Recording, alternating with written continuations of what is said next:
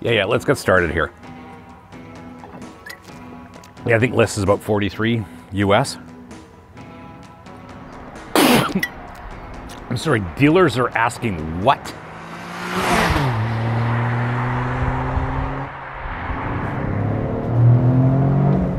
I'm your host, Brian Makse, racer, lover, driving fast, fun things. And on this channel, you get reviews for drivers from drivers. And yes, this GR Corolla is the victim of some greedy dealers here and there. And that's on both sides of the border. As some of you know, I spend time in the US and in Canada. And it seems like the GR Corolla is commanding some additional dealer markups, which some of us may not be a fan of, and that changes the whole equation when it comes to this GR Corolla. Anyway, we need to drive this thing, and before we get into what it's like to drive, let's have a look at this GR Corolla circuit in a little more depth. We've covered this before, and yes, even though this does say Corolla, this is a proper factory special, and it starts by being made in the legendary Motomachi factory. This is not a mass-produced Corolla by any stretch of the imagination. The chassis is strengthened throughout, and this is the circuit, so it's got the forged carbon roof. The engine, still the 1.6 liter three cylinder turbo, makes 300 horsepower at 6,500 RPM, 273 pounds of torque from 3,000 to 5,000 RPM. It's a six speed manual only. Yay, save the manuals. Switchable rev matching, which we will talk about. This is all wheel drive with 60 40, 50 50, or 30 70 front to rear torque splits. This is the circuit, so it does have front and rear limited slip diffs. Suspension's based around MacPherson struts at the front, double wishbones at the rear. It is electric power steering, of course, four piston calipers at the front with 14 inch rotors, two piston at the rear with 11.7 inch rotors. Wheels are 18s, tires are Michelin Pilot Sport 4s that are 235 wide, and curb weight of this all wheel drive GR Corolla circuit is about 3,262 pounds this really is no different in terms of seating position to the Core or the Morizo that we drove previously. And the seating position is pretty darn good, with the exception of like to get a little bit lower.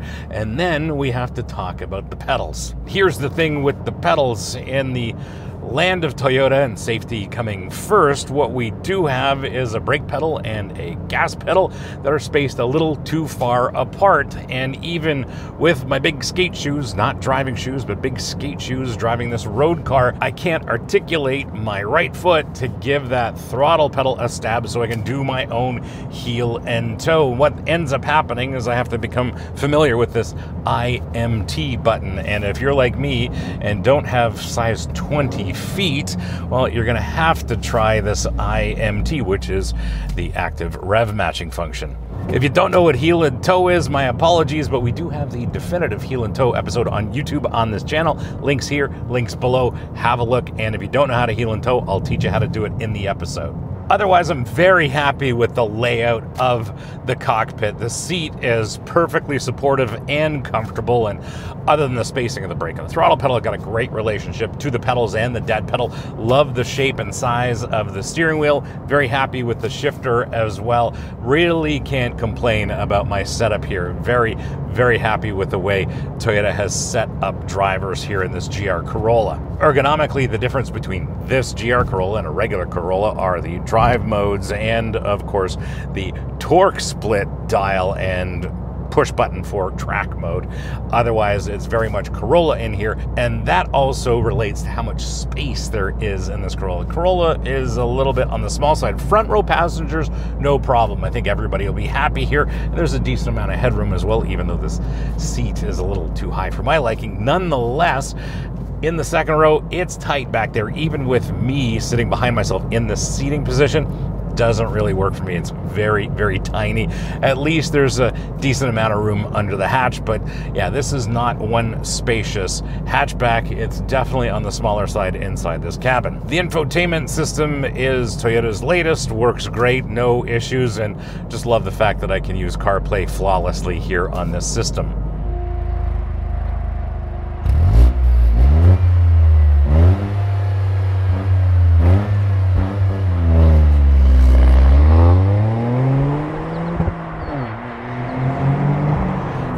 It's quick enough. I think if you beat on this thing and abuse it mechanically, you can do 0 to 60 in maybe under five seconds. I don't know. I'm not willing to do that. I'm not willing to abuse a car just to achieve those numbers, and it's kind of not necessary. This is not a drag race kind of car. It is meant to be enjoyed on open flowing roads, even racetracks, whether they're fast or tighter, doesn't really matter. This car is at home at every kind of race circuit on every kind of corner. Still, in a straight line, it is very, very quick because it is on the smaller, lighter side.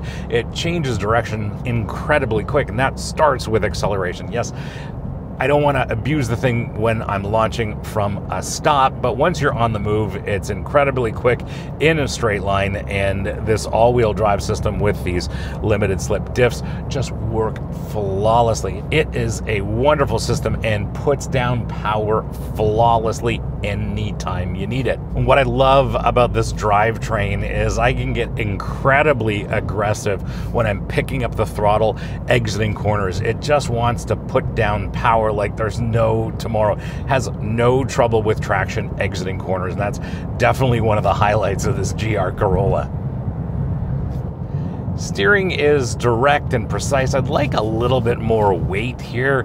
It's just fine. And of course, it works better than in the regular Corolla because, of course, the chassis is stiffer. I think the steering rack is a little bit quicker as well, which is appropriate for a more performance oriented car like this GR Corolla. I really can't complain about it because it changes direction so rapidly. Turn in response is incredible with the steering.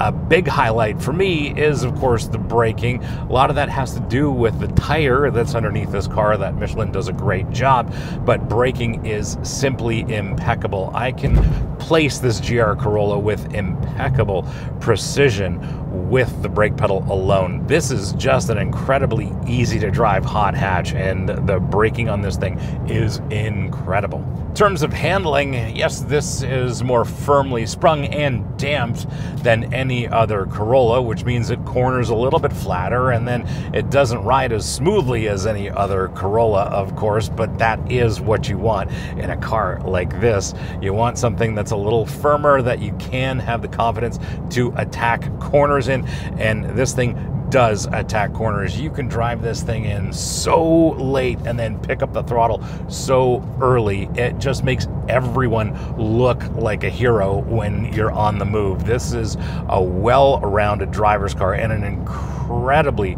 well sorted hot hatch.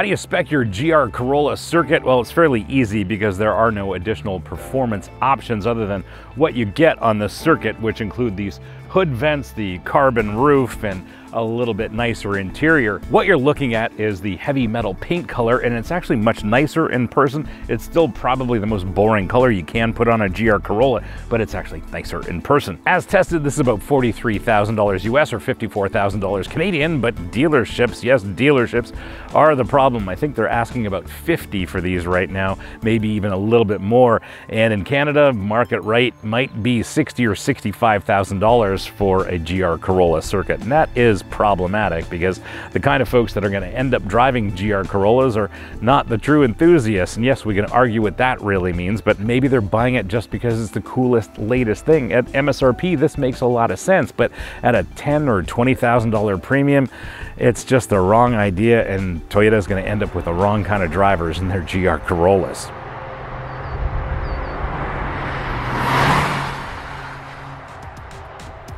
My verdict? Well, it shouldn't come as no surprise. Every time I drive a GR Corolla, it continues to impress. Dynamically, it's just incredible. I have that one single solitary complaint, which is the pedal spacing. The brake pedal and throttle pedal are just too far apart for my liking, even with my skate shoes. I can't heel and toe effectively, and no, it's not me. There's a heel and toe episode on this channel. Nonetheless, as far as this GR Corolla circuit goes, tremendous value at MSRP. Yes, you can get a core with a limited slip diff, if you don't want the extras of the circuit, but otherwise, if you have to pay dealer markups, just don't, don't do it. And if you have to do it, well, make sure you drive your GR Corolla. Don't let it be a garage queen. Don't be one of those drivers that buys this because it's the latest, fanciest, coolest thing.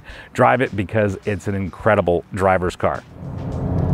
Thanks for hanging out with me today and having a look at this 2023 Toyota GR Corolla Circuit Edition. Hope you liked this episode, and if you did, well, you're not new to YouTube. You know what to do. Smash the subscribe button, turn on your notifications, like this video, and as always, sharing is caring. So please share this episode with your friends, especially on Reddit, because on Reddit, they really need to see reviews for drivers from drivers. If you have any questions or comments, please leave them in the comments below. I'll get back to you as soon as I can. And if you want to support the channel, please hit up our merch store store. Links here, links below. Lots of great stuff for driving enthusiasts like us, including our very popular line of Save the Manuals merch. Thanks again for watching. We'll see you again next time. And remember, cars don't understeer by themselves, not even Toyota GR Corollas.